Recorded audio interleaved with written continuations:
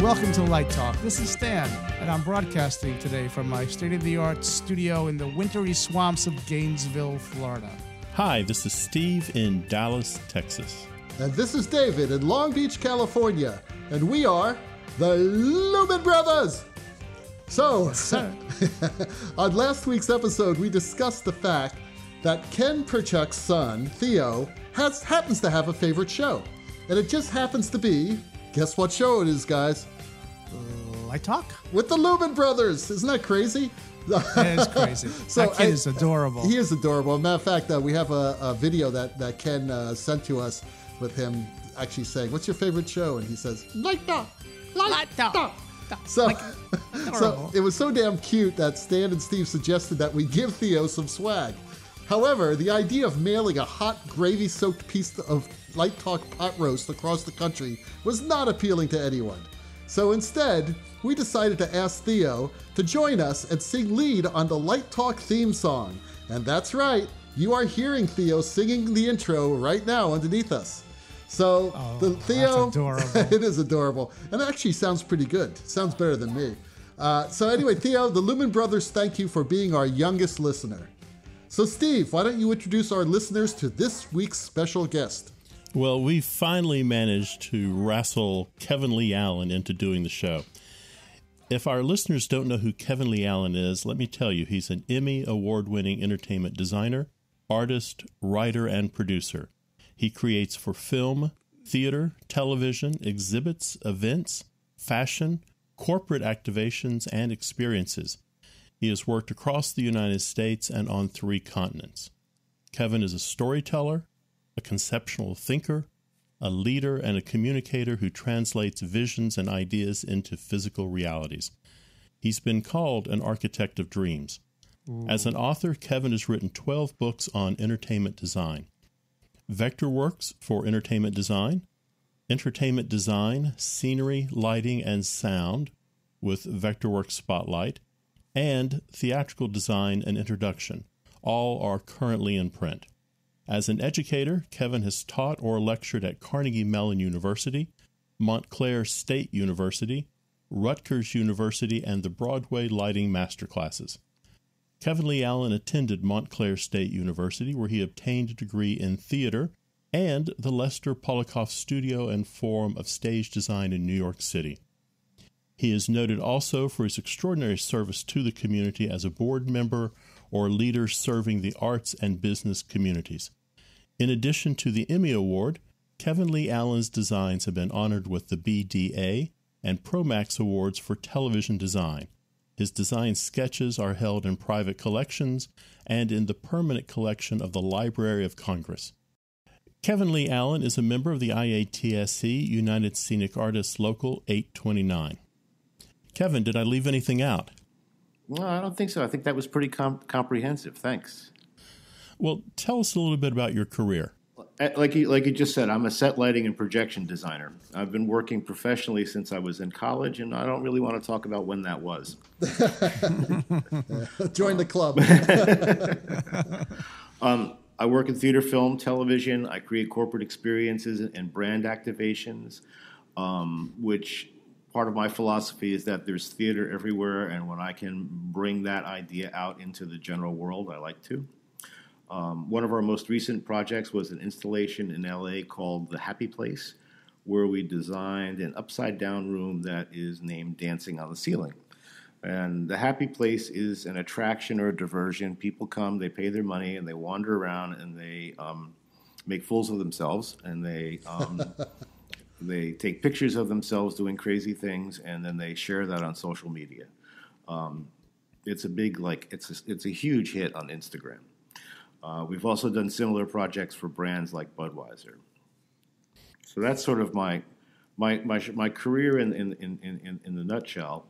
Um, but about 10 years ago, I was asked to adjunct at Montclair State University in New Jersey, where I had attended. Um, and I was specifically asked to teach Vectorworks along with design, rendering, decor, and other topics over the years. But um, as an adjunct, I became involved with the Kennedy Center American College Theater Festival. and I had seen a demo in New York of what was then ESP Vision and VectorWorks, and Jeremy Powell of um, VectorWorks um, came and did the presentation with AJ, who originally wrote Vision. Um, and I invited them down because I was kind of blown away at the ability to really visualize moving light and rotating gobos and uh, fog and you know all, all the things that really make you know rock and roll rock. Um, and so after the demo, I was chatting with Jeremy and I talked to him about how I worked and how I taught. And he liked the fact that the, what I had determined were my best practices and workflow were then and now pretty much in line with how the program is built and how they hope people will work with it. And so he asked if I would uh, do some writing for them. And that was the first of about 10 books that I wrote for them. The, the first one was about 15 pages, and they worked their way up to over a couple of hundred. Um, those books were out there, and that led to Focal Press reaching out to me to write the book that has become VectorWorks for Entertainment Design. And it is. I got it. I think that's a pretty good it. textbook. Yeah. It's uh, on my desk. It is. Too. Thank you. Uh, I it's on it. my desk. my students read it. I, I, of course, I'm mostly concerned that your students buy it, but you know, reading, reading, they steal it. yes. Because um, you know, every student that buys it, I think I get five bucks. Um, That's pretty good. In in turn, in turn, after I wrote that book, the, the, the my my editor said, "Well, what else you got?" And so that um, led me to put together a proposal for theatrical design, um, an introduction. And while the v- VectorWorks books are really hands-on and filled with very detailed instruction, do this, do this, do this, do this, now do this, and you'll have whatever it is that I'm trying to get you to make. The um, the entertainment design book, the theatrical design book, is um, much more philosophical it's sort of my methodology for um, analyzing a script, coming up with a design idea, communicating that idea to the other designers and the directors. Um, it's all the things that you would do, experimenting with color, experimenting with line, before you got down to try to making making something with VectorWorks. Kevin, let me ask you one more question uh, before I turn you over to David. We have a lot of younger listeners, high school students, college students. And I think the question they would all like to know is when did you first realize you could make a living doing this? That's a little bit hard, but um, I got my first job designing scenery and summer stock after my freshman year in college. It was a, a little itty bitty place. It, it's still around. It was called. It's called the Surflight Theater. Um, at the time, it was tiny. It was maybe sixty seats. It had a tin roof. If it rained, we had to stop the show. Um, and I did that season. I did 14 musical comedies in 14 weeks, and took my portfolio to meet um, John Kenley of the Kenley Players, which at the time was one of the largest summer stock companies in the country. I always made some money. I wasn't making any big money, um, but I made money and I was able to save money doing the summer work it wasn't until I graduated and moved into New York City that I realized I could totally earn a living. First, as an assistant designer. Um, secondly, um, then as as a designer. and of course, along the way, I you know slung a wrench and I threw paint around and I you know cut wood and and, and did all kinds of things to work in the business and um, network. That's really cool. Um, you know, you're talking about AJ. I, we were one of the first people to use Vision. You know, right, right, right, when he released it years ago. Oh wow! And then I was so happy to see you know him finally get together with VectorWorks, and uh, and it took several years for, for for them to figure out how how does Vision talk with VectorWorks. Because mm-hmm. I remember you had to like change the uh, fixtures on it. You went from one to the other. It, was, it, just made no sense. But now it's much more seamless, which is great. The process so is a lot is it. a lot smoother. Um, but and and and it, even years ago, it was somewhat automated. As long as you had the Vision library, it could do the export. But now, once you send the file to Vision, I, you know, you can continually update it without having to go and recreate everything. Yeah, that's great. That's that's a big time saver. So, so so how did you get started with VectorWorks? How long have you been using it? Uh, a very long time.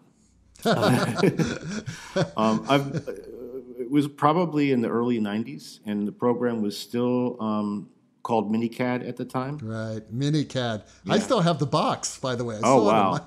my- it's good. You could find that at flea markets. That's right. it's a collector's item. Next to the saltwater dimmer. The piss pot. So I have a, uh, a couple of questions. You know, I, I had my graduate lighting class today, and I told them that you were going to be on the show today, and they all went, "Oh my God, the guy who wrote the book we're reading." Okay, ask him these questions. We need to know. so I have a few questions that they asked me, and we can make these short. Um, first of all, what's with the None class, and why not get rid of it? Well, you have you have to have the None class. Um, you can rename it, and you can make that your you know your medium line weight or you know Bob's really favorite class, whatever you want to call it. As, as long as as long as it's there, there are some things that go looking for the None class. I tend to just leave it in my template file and ignore it. Whereas I have, for example, um, like an architect, um, I've renamed the dimension class, which you also have to have, as um, D dash dimension, so that I can keep all of my notes, all of my the, the classes for my kind of note things like D dash drawing label or D dash center line, gang together in the class menu. But you have to have it. Hmm?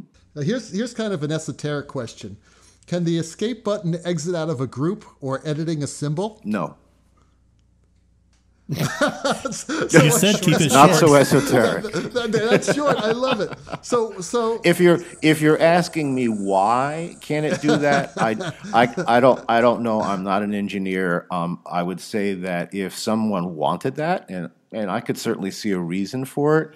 Um, although I, I and I have to double check myself because I use the X short key to go back to it.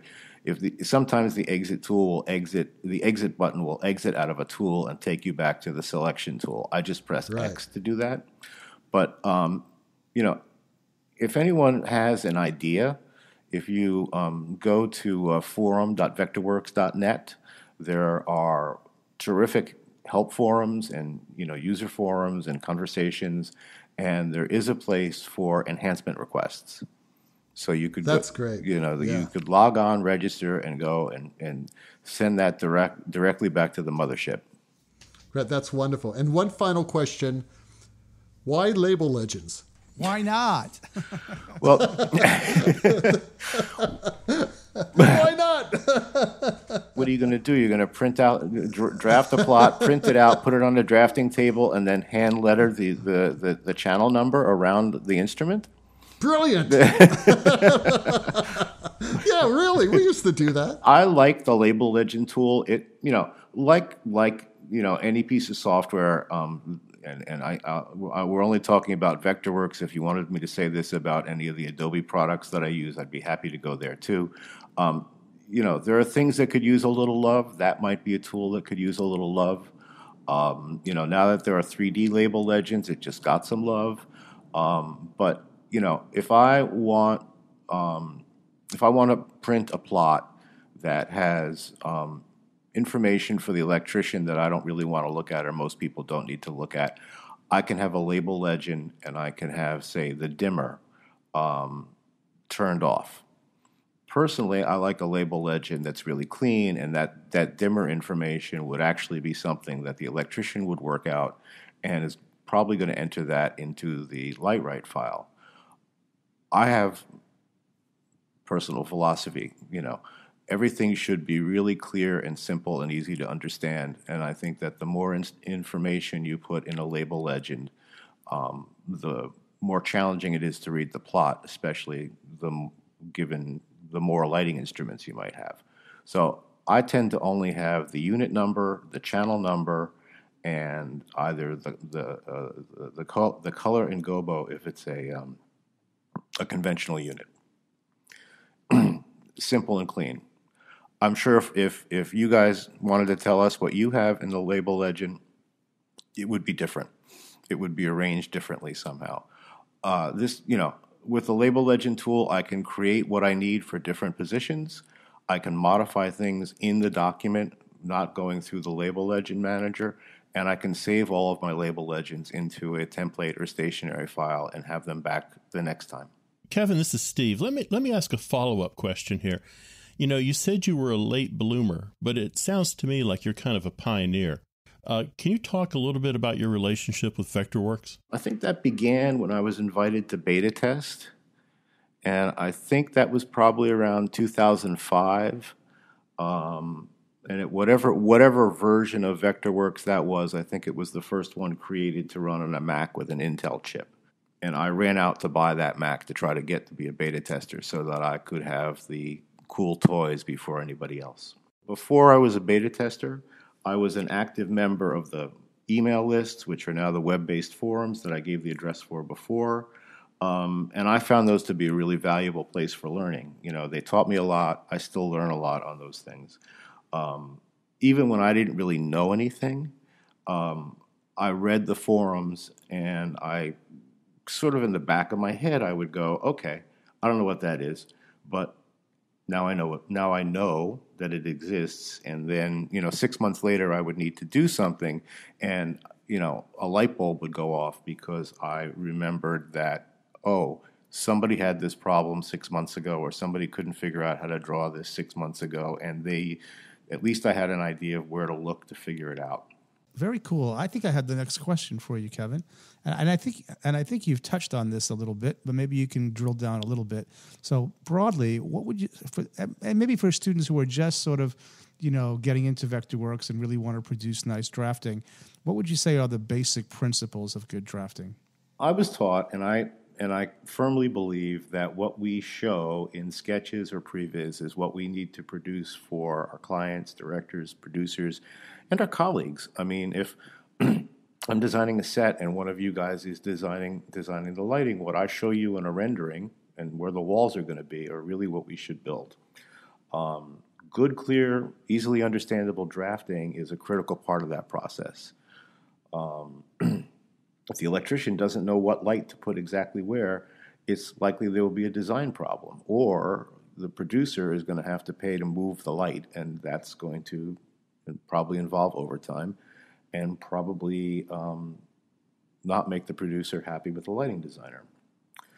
I also firmly believe, and I, I learned this when I was, um, you know, working for Peter Wexler many years ago, is that over time, when the drawings are clear, the crew show a lot more care and respect for the finished product.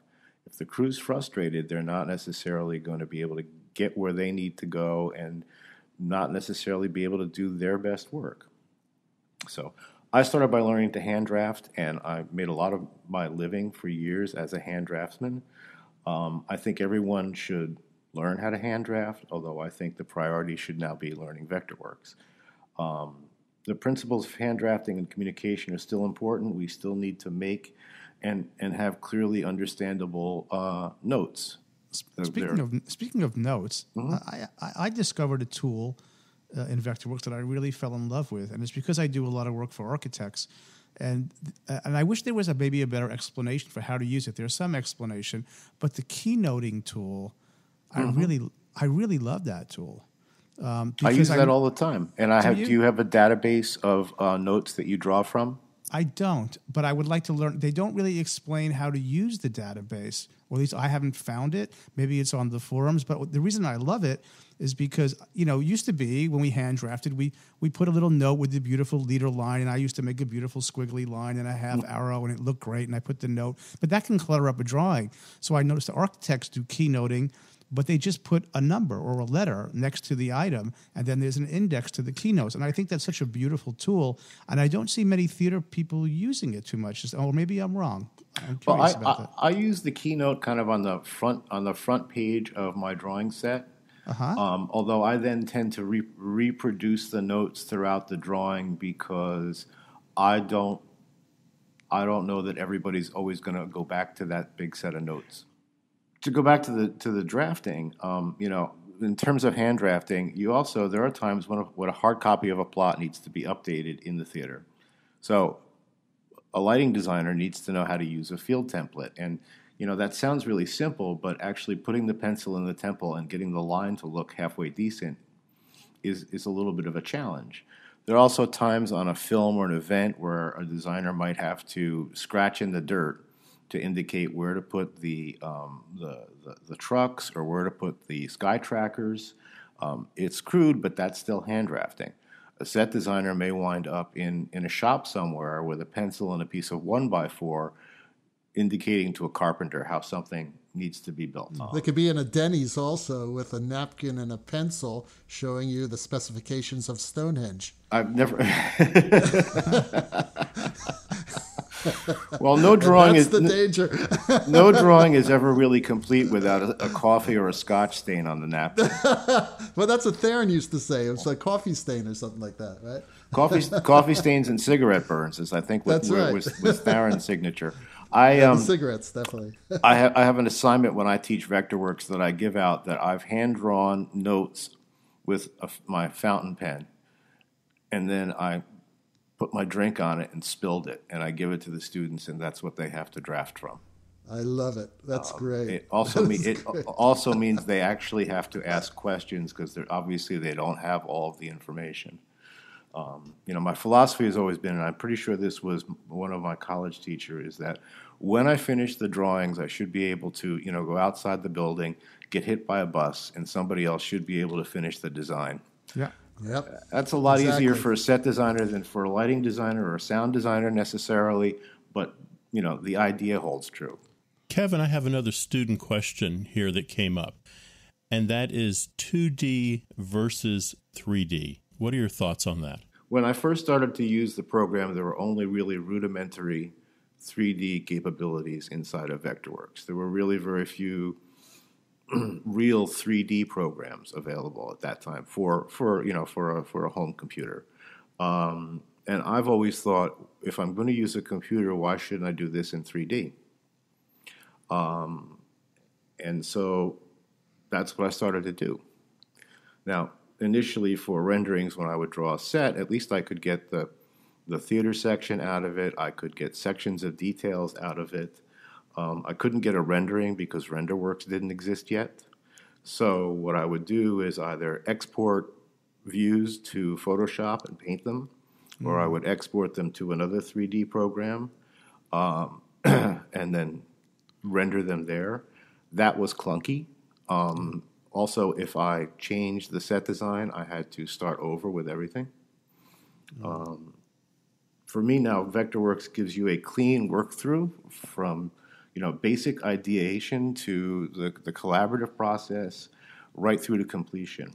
Um, I might still doodle with a pencil and paper, but I can often just start the sketch model in Vectorworks. Um, I'm working on a project right now, uh, and, and, and I really just started laying squares out to kind of see what I needed in the space. I need this much square footage for this. I need three, four lecterns. Okay, lectern is 18 inches by 24. I need them here. I need one here. I need to seat 250 people. Grab the grab the seating tool. Basically, just made four sections, each with, you know, 65 people in it, and move them around so that I could space plan. Um, little by little, turn that into a model. Who I'm doing the set, colleague is doing the lighting, um, so I could. We use project sharing, so he could look at the evolution of the set design, start thinking about where where we could put lights, and you know everything in this particular project is really it's like a rock and roll show where everybody could uh, where everything is about can, where can we put a, another another moving light? What kind of moving light can we put there? We need fog. We need haze. The other idea of the collaboration is that if i'm building the model of the venue and i do that in a project sharing or we reference a symbol of the model of the theater um, I don't have to complete that all the detail in that right away, and the lighting designer and the sound designer don't have to, you know, trace over the 2D program. They have access to the same to the same details. Um, it also allows them to continually continually see a live updated section. Um, just as the set design drawings will regenerate as they as as they change. Are you using the uh, the VectorWorks cloud service to do that? Um, no, I'm just I'm I'm using Dropbox to do that. Okay. You know, I use the Vectorworks cloud service sometimes to do things like um, uh, some off, uh, offline some renderings or to create. Um, I forget what the tool's called. It's in 2018. There's a 360 view, export 360 view, so you can literally do kind of a like one of those um, the Facebook 360. Like walk around sort of mm-hmm. thing. Mm-hmm. Yeah, I see that the, that the Vectorworks Cloud has a Dropbox integration, and I haven't mm-hmm. gotten I haven't gotten into that yet. But I do like the idea, uh, and Autodesk has it as well, and Adobe. These cloud services, I think, make for great collaboration capabilities. It's really cool. Being able to share information and not being afraid to share your file Right. is really important. And your process, it's sort of like sometimes young people, well, I'm not finished with it yet. Well, don't. That's not important if you're not finished. We're just sharing the progress with each other. That's a it's a team effort. Collaboration is about sharing ideas. It doesn't matter from whom on the team the idea comes from. It just matters that the best idea ends up in the finished product. Exactly. And you know, I I really believe that you know I have made other people's work better, and I really am sure and I know that other people have made my work better. Amen. So you know, not being afraid of that is um, is important.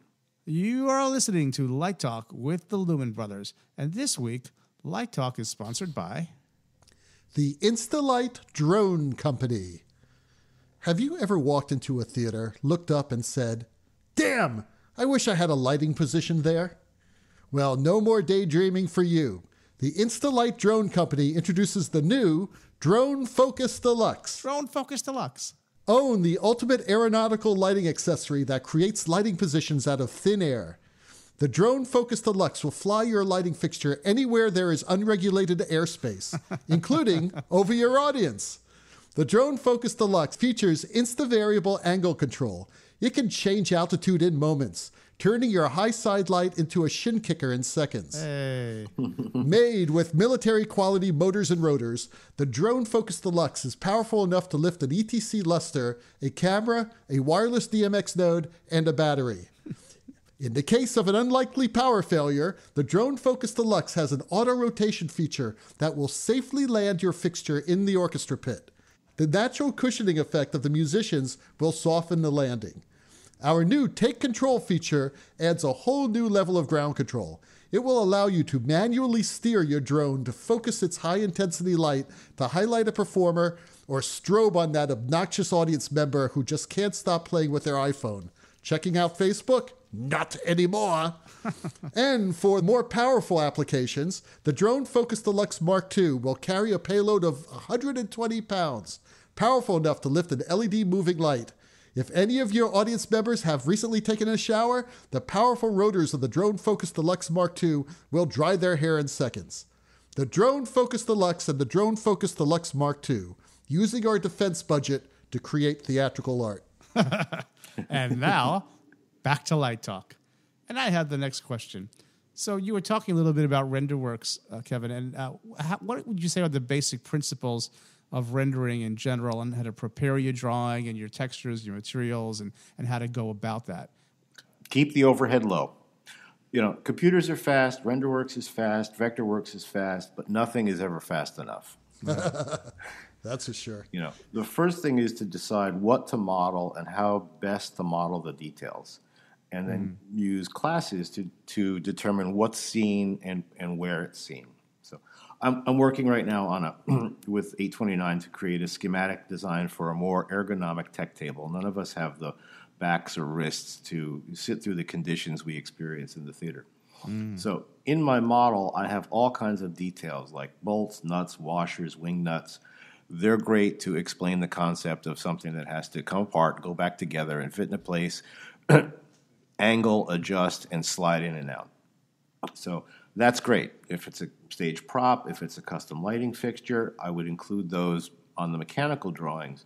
But in the rendered views, I would probably turn turn all those details off sign them in their own class, get rid of them so that the computer isn't having to think about all that complex geometry. Um, I do a lot of custom textures for scenery. So if I'm creating a 22 foot by 50 foot stage backdrop, I might use Photoshop to create the image or to scan a painting. Um, if I just do that and I'm going to give it to a scenic, that might be a you know 50 megabyte file.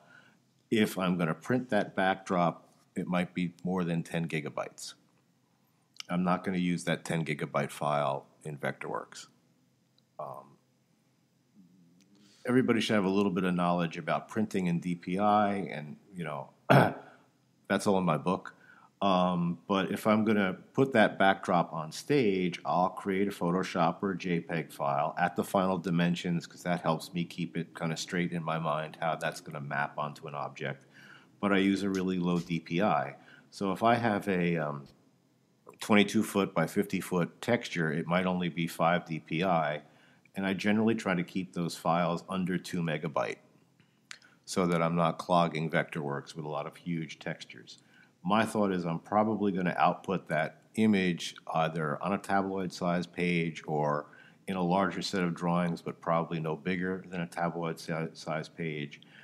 If I need to make a poster of that rendering, I might increase the size of my textures um, for the rendering output because I was going to, you know, print it at 30 inches by 40 inches. Uh, lights add geometry. Lights complicate things. Right. Um, whether they're spotlight lighting devices or Vectorworks light objects, I use as few as possible in the rendering to make it work. And I'm talking about using RenderWorks, not Vision. Um, and I try to avoid the point light object because all they do is add math. Um, you know, if, if if you think of a point light, it's basically a light bulb in the middle of in the middle of a room, and the rays of light are bouncing off of everything and, and attacking everything the more you add, the more the more math you're adding, the longer your rendering time. And keep the polygon count low. Okay, great. So why, why don't you tell us a little bit how Vectorworks uh, works with Previs? I mean, do you use it to Previs? I do. I mean, you know, I, I start as I'm a huge fan of still images rather than than video.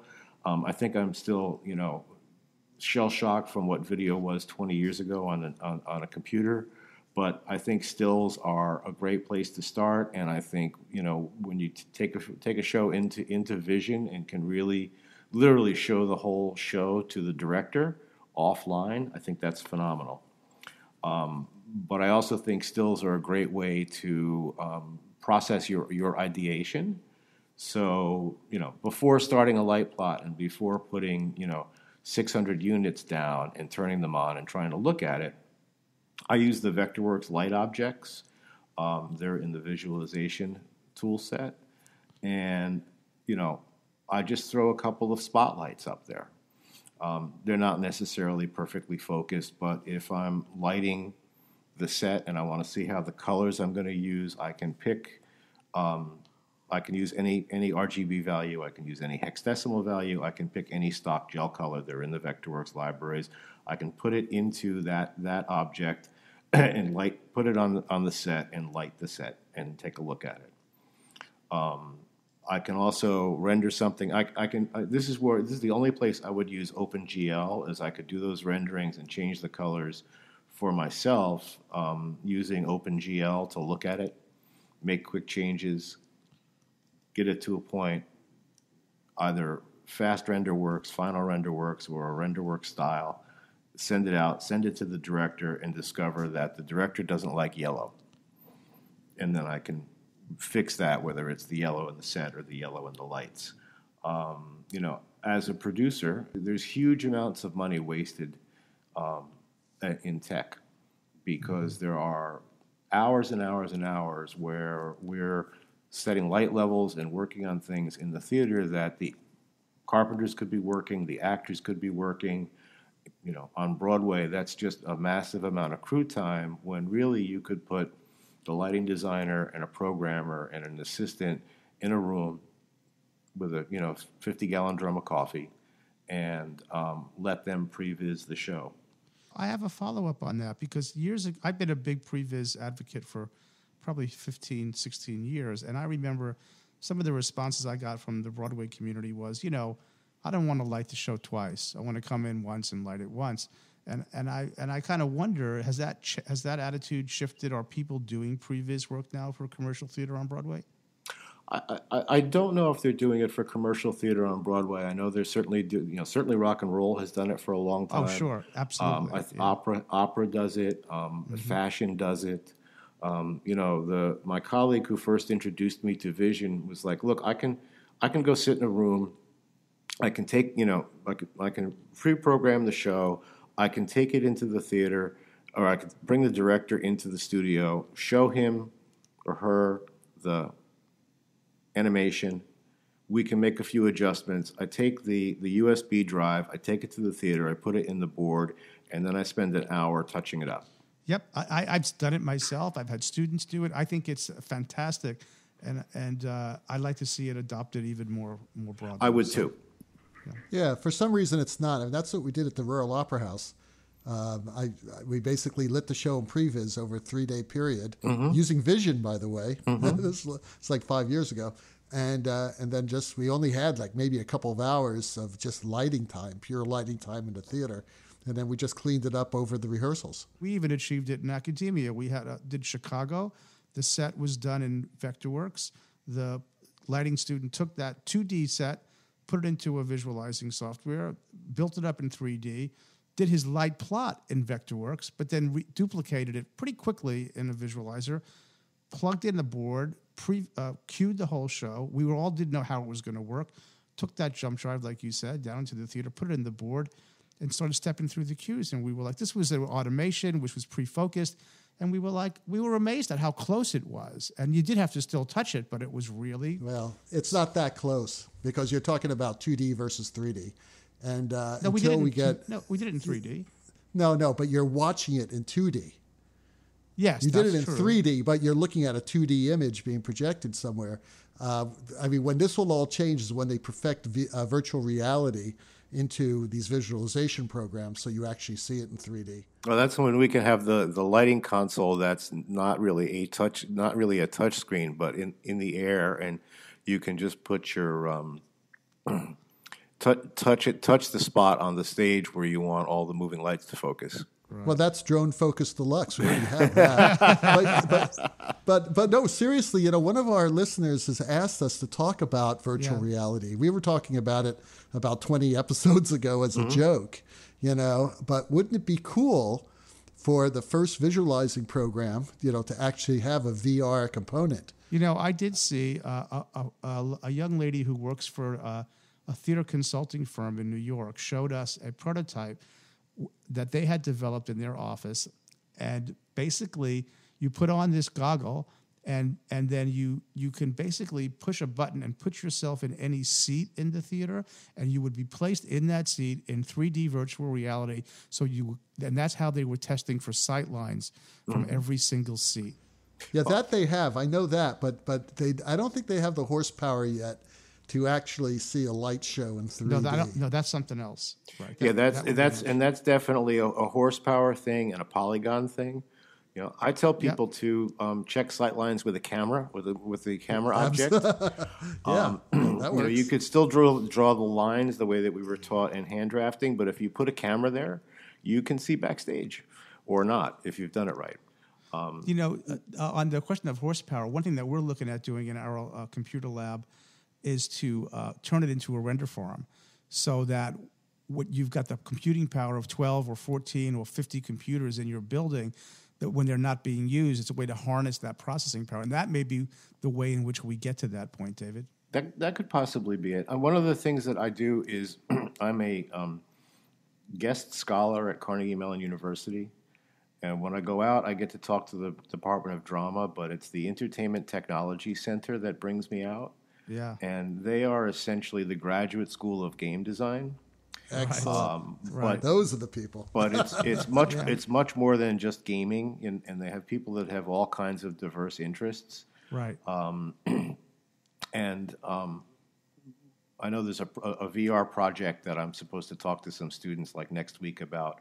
But you know, last semester I saw something that was a city planning tool.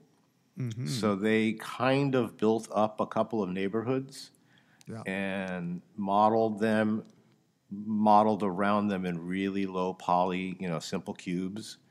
Um, but then you could walk through the neighborhood, and if somebody wanted to put a high rise into the neighborhood, they could turn on a high rise, and you could see how the high rise would affect the streetscape, as Sure, opposed the- to the- it was a sunlight. Pretty sunlight. It was a, it was a relatively you know it was a three, four, five story kind of neighborhood. Um, so you could see how that would affect everybody around it. You could see what it would be like if you put in 50 high rises. wow, that's cool. But, Was it in a but VR a VR format or projected on a flat surface? VR format. So you had to put the goggles on, and you navigated your way through with the um, uh, with a with a controller that appeared. You, you had a hand controller, like a gaming controller, and and what you did with it kind of appeared on the screen on in in space. Um, but but there was kind of no lighting, and there was minimal atmosphere. Although they could show you a, a sunny day, a cloudy day, and maybe maybe some semblance of rain. Um, but yeah, you're talking about a lot of horsepower. A lot of horsepower. Yeah, but the day is going to come, and it'll probably come in our lifetime, and I think that's really going to change everything. Oh, absolutely. I have no doubt. And You, you, you know, I just saw something in Japan. Um, you know, at SMU, we have a gaming center also called Guildhall. And I was in Japan and I, they said, let me take you. We're going to show you a new 3D game. And I thought, yeah, yeah, 3D game. So they, they take me into the studio. There's a, a, a computer setting there. And they say, sit down. So I sit down and they turn on a NASCAR racing game. And in front of me on the table is a 3D NASCAR. I'm not wearing goggles. I, I feel like that Mel Brooks movie, I think, Frankenstein, where you're grasping at the notes in the air. and it, it, it's right there in front of me. And I've got a virtual wheel, oh wow, and that and that wheel allows me to turn Is that it car. holographic, Steve? It was holographic. It- real was- hologram, It was not, absolutely not just amazing. a Pepper's Ghost. no, it wasn't a Pepper's Ghost. And the the discussion they were having, oddly enough, was that probably it had no future as a game, but it had a future as a sales tool.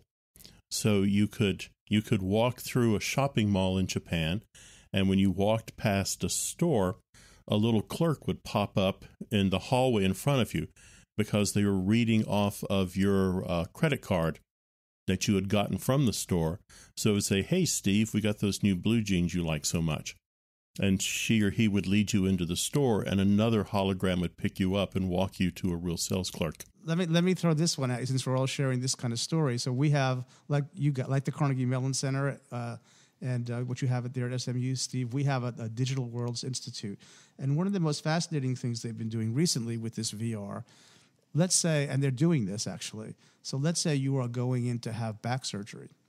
What they are doing is they are uh, 3D MRIing your back, and then they are putting that spine into a virtual body, putting you putting the surgeons in the goggles, and then they are literally rehearsing the surgery on your virtual body to get it into their muscle memory before they go into surgery.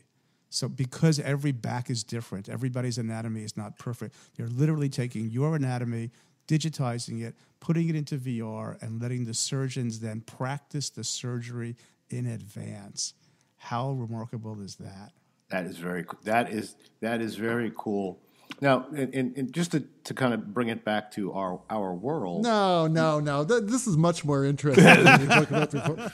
No, but I mean, I mean, you, you, know, guys are working at real, real universities. My university's still trying to figure out the abacus. I mean, just- I mean, really, guys. Oh man. Okay, okay. Back, back, back to life. Back to our But, but world. no, no, no, no. Back just, to but light just. I mean, Back just, just on the same talk. on the same theory. As long as you can export a 3D model, um, and I don't know if I've touched on what you know BIM. You know, which Oh, I'm yeah. sure you guys know. You know, Buil- building information management, sure. Yeah, as long as is is you know, I'm waiting for the day, and I think actually this software exists. Is you can export the model to a sound program, and as long as there's BIM information on what the materials are you're using, So if you ha- if the, the, the, the orchestra seating has a certain amount of steel in it, it has a certain amount of cushion. If the walls are whatever wood they are and are angled, whatever, you can play back the sound so it'll hear it will sound like it's there. As as well as well as your headphones or ear earbuds can can do that. Now take that think about the the Apple ARKit that's in at least now I think it's just in iOS but when you think about that kind of technology in virtual reality, someday soon, they're really going to be able to hear the soundscape for a show offline, really the way that it's going to sound in the theater, the way that we're we're talking about that we can visualize lighting. Well, Kevin, uh, what what real advice do you have for anyone young starting out in this business? Run away, run away now. Run away! Run away! um, but I mean, seriously, I mean, I think we all do this because we love it.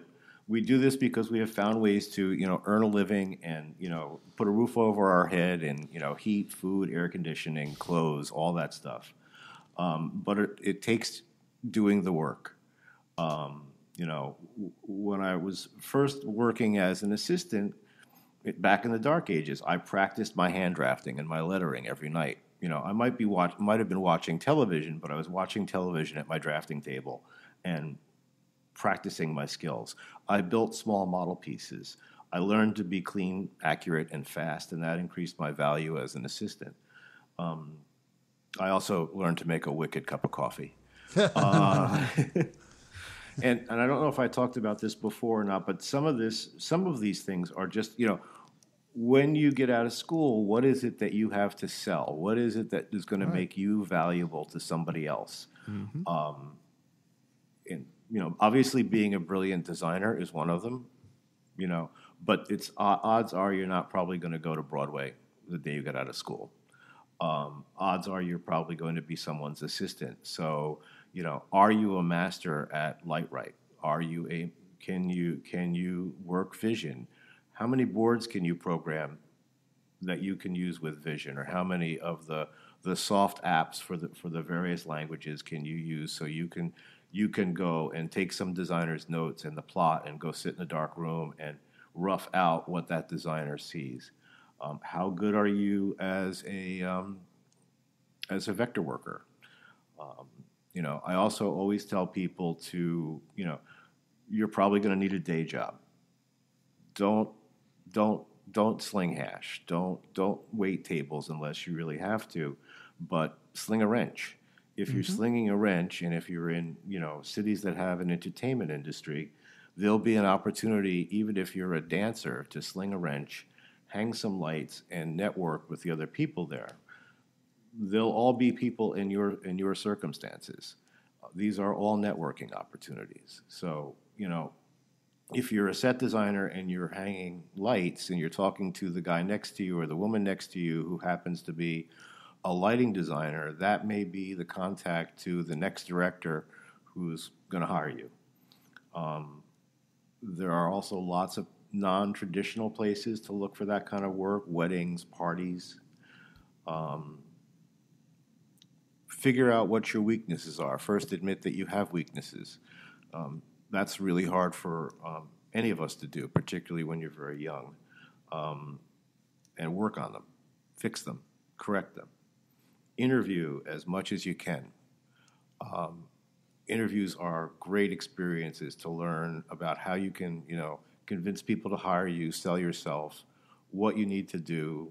Oh, I didn't dress right that time, didn't get the job. I'll I'll I'll dress, you know, a little nicer next time. Um, you know, networking.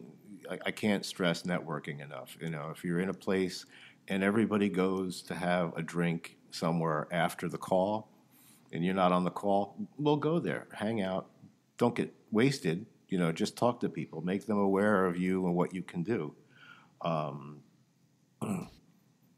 read plays, see shows, go to the movies. Texts are the common language that we all make reference to you know, you may not have the answer to the magic at the end of Blithe Spirit, but you ought to know what the moment is that I'm talking about when I said that. And if you don't, you should go read the play. Um, find out whose work you like. Um, you know, if you're in New York, go to a Broadway show. If you're a lighting designer and you like the lighting, look at the poster, look at the program, and call that person. S- Go meet with them, have a cup of coffee, interview with them, ask them for advice. Odds are they'll help you. And learn to make a great cup of coffee. Kevin, thank thank you so much. Thank you so much for sitting down and talking with us today. Really appreciate it. Yeah. Kevin, it's great having you here, man. It was great. Well, you know, that Hammond organ solo you hear in the background tells us that once again you spent a precious hour of your life listening to Light Talk. Look for the next episode of Light Talk here on iTunes, Stitcher, Google Play Music, SoundCloud, Spotify, or the Light Talk Facebook group page.